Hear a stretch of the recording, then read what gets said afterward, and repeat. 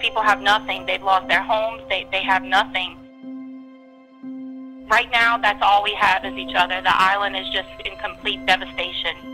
Mr. David Camardelle always says this one saying, and it's so true for so many people of Grand Isle.